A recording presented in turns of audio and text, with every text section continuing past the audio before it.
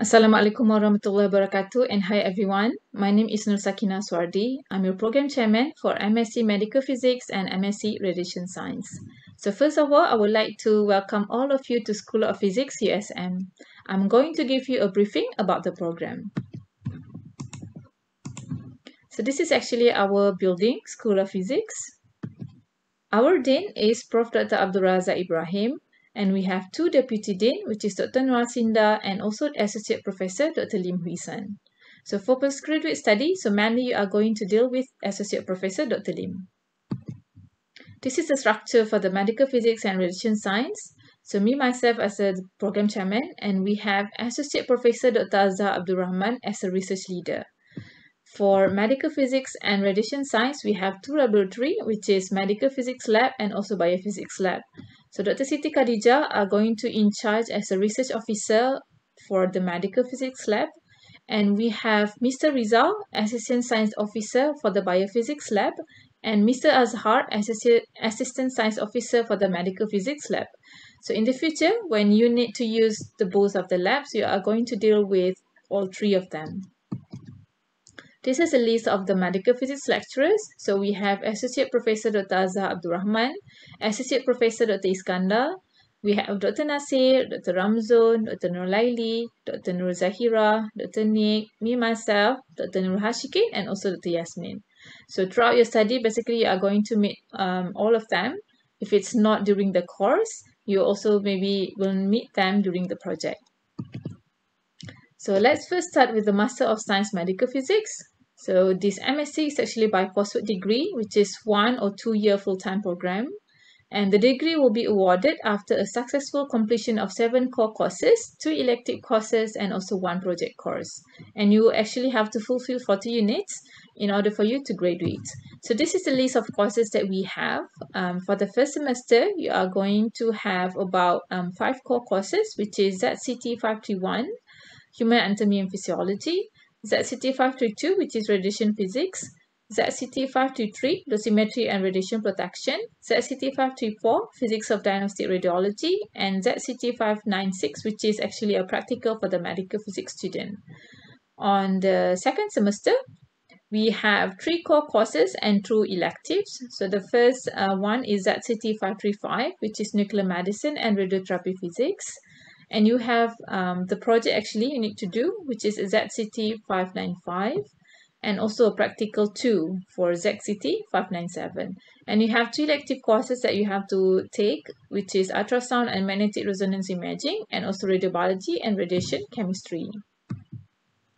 This is a list of a practical for the medical physics and we have detection and measurements of radiation, performance evaluation of ultrasonic imaging system, quality control of X-ray machine and film processing, and also dose measurement in chest phantom. This is a list of practical for semester 2. So for semester 2, basically you are going to do it at hospital. We have um, either go to GH, Penang, or we are going to go to IPPT, which is another branch of USM. The topic that we are going to go through is the diagnostic and radiology, nuclear medicine and radiation protection, radiotherapy and treatment planning, and also brachytherapy. So basically we will cover this in second semester. So for the MSc Radiation Science, it's a bit different from um, the MSc Medical Physics because MSc Radiation Science is a mixed mode. It's also one or two year full-time program and the degree is awarded after a successful completion of five core courses and one dissertation. So the number unit is the same, which is a 40 units. So basically, for the first semester, you are going to take a course. You have to sit for an exam and pass um, the exam. But for the semester two, you didn't have any course that you have to take. I mean, like you don't have to sit for an exam. You are just going to take a dissertation.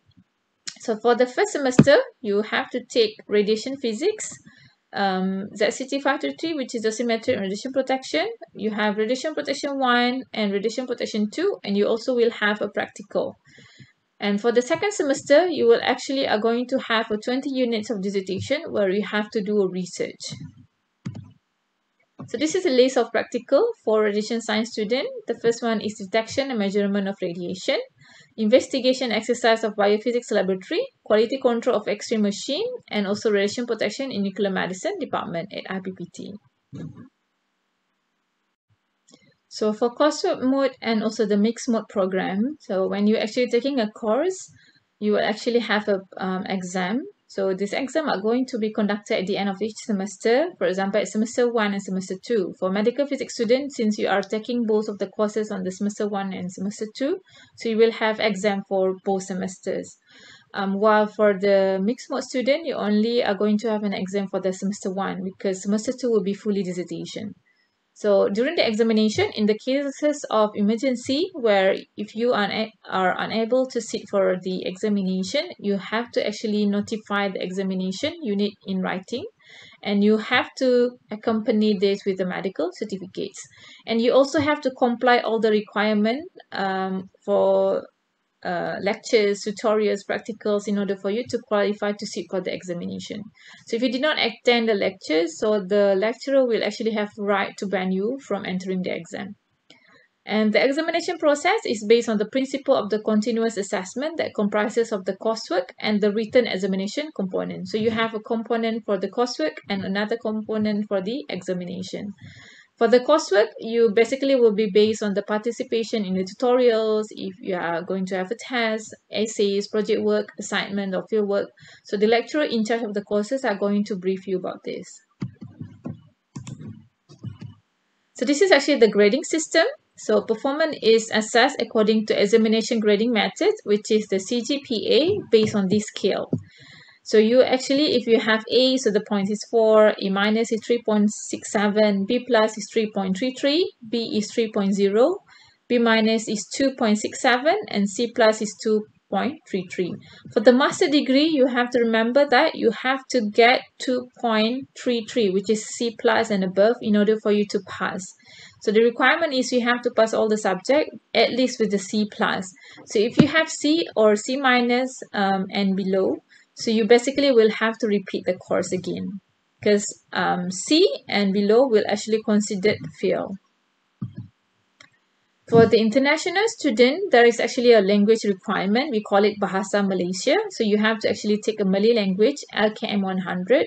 So this is compulsory for all international students and to be passed prior to graduation. You have to get at least a minimum C in order for you to get the pass for the um, graduation and you can register the course at School of Language, Literacies and Translation. This is a graduation requirement. Um, for the course and mixed mode, you have to comply all of these in order for you to graduate. So you have to pass all the courses and other prerequisite courses de determined by the respective school, center or institute with the grade C plus and above. And you have to pass a dissertation, which is your research project, you have to obtain at least a CGPA of 3.0. So for example, if your semester you have less than 3.0, so you have to repeat certain uh, courses. And you have to fulfill the minimum duration of the candidature. So for this coursework and also mixed mode, the minimum is one year. So you have to make sure that you fulfill the one year in order for you to graduate. And for the international student, you have to pass Bahasa Malaysia or LKM 100. So that's all for my briefing. Hopefully I will see you soon. Bye everyone.